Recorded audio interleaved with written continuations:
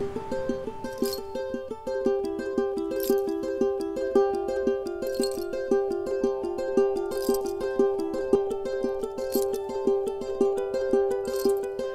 my name is Whitney Myer, and I performed my song Somehow with the Perform V from TC Helicon. I really like this unit because it's small and it's portable and it has everything that I need to perform a gig with. And it's great, I can just pick it up with me and it plugs in really quickly.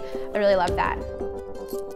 It has reverb, so I can really customize the way I want my song to sound. Getting angrier every day. All these obstacles in your way.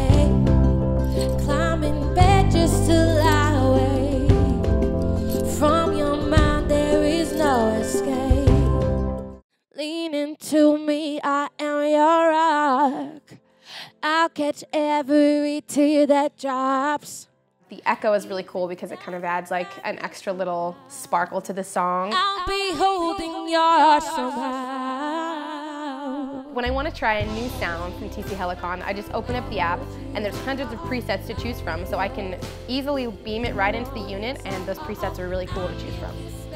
They also have uh, doubling with this unit, which is really cool. It's one of my favorite effects that I use on my choruses to kind of give them a bigger punch. I'll be holding your somehow. I'll be holding your somehow. I'll be holding your somehow. I really love this unit because it puts all the control in, in the singer's hands and I can do everything I need to perform the song the way it is on the record live.